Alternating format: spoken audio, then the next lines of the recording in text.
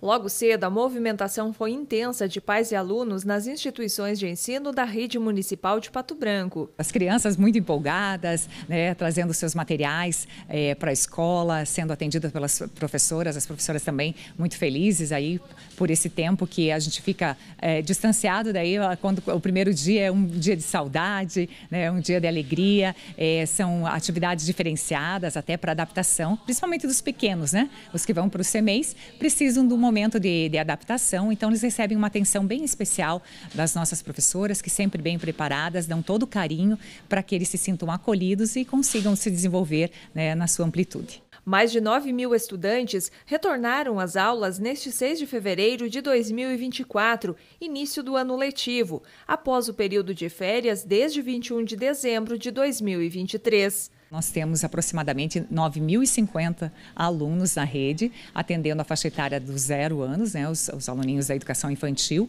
até o quinto ano né, do ensino fundamental, do, das séries iniciais do ensino fundamental. Então, todos retornaram hoje. E quantas unidades de ensino? Nós temos 53 unidades de ensino, é, 26 CMEs e 27 escolas para atender a, a essa demanda.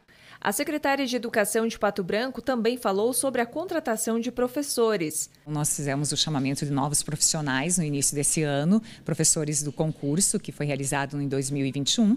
Ah, alguns foram chamados já em 2022, 2023 e agora alguns profissionais também neste ano para compor eh, o nosso quadro de, de professores e atender todas as salas, todas as turmas, com o professor já habilitado, concursado, é, recebendo a formação inicial da semana pedagógica. A grade curricular, que trouxe excelentes resultados com o inglês no ano passado, permanece. Agora ela faz parte do nosso currículo, então ela não, não, não será mais retirada, né? ela faz parte de um componente curricular da rede municipal de ensino, com professores concursados e habilitados para esta área do conhecimento.